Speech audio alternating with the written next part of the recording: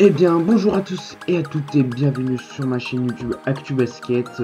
J'espère que vous allez tous très bien. Pour ma part, ça va super. Donc aujourd'hui, on se retrouve pour une toute nouvelle vidéo sur ma chaîne YouTube. Une vidéo Zoom sur Jérémy Leloup. J'espère que cette vidéo vous plaira. Donc n'hésitez pas à liker et à vous abonner à la chaîne YouTube. L'objectif est les 100 abonnés. On commence directement avec la vidéo.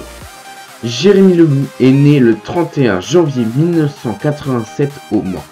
Il commence le basket à l'âge de 5 ans. Entre 1992 et 2002, il évoluera au club de Coulennes Basket. Ensuite, il rejoindra le centre de formation du Mans entre 2003 et 2006, où il gagnera le trophée du futur en 2005. Il signera la saison d'après son premier contrat pro au Mans. Il gagnera le trophée du futur et le trophée de MVP du futur en 2007. Il gagne ensuite la semaine des As en 2008 contre Orléans ainsi que la Coupe de France contre Nancy. Pour la saison 2009-2010, il se fera prêter du côté de Vichy. Il jouera la semaine des As mais perdra en demi-finale.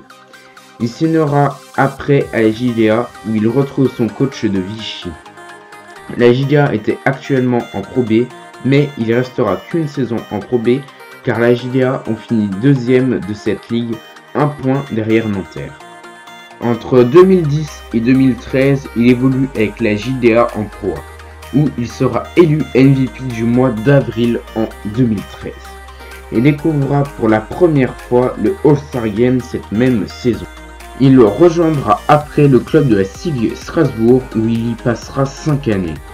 Il gagnera la Coupe de France contre Le Portel et la Semaine des As contre son club de formation en 2015.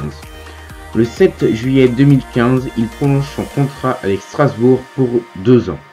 Il effectue son 300e match sous les couleurs de la SIG le 31 mars 2018. À un an de la fin de son contrat, Jérémy Leloup annonce le 18 juin 2018 de quitter Strasbourg.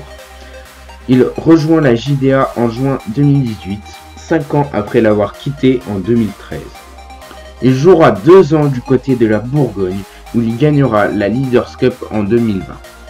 Enfin, il signe du côté de l'élan Bernay pour deux saisons. Donc voilà, c'était le zoom sur Jérémy Leloup. J'espère que vous avez appris des choses sur ce joueur. Euh, N'hésitez pas à vous abonner si vous avez aimé cette vidéo et à la partager. Moi, je vous dis à mercredi 18h pour l'interview du joueur de Boulazac. Donc je vous souhaite une bonne soirée ou une bonne journée. Allez, bye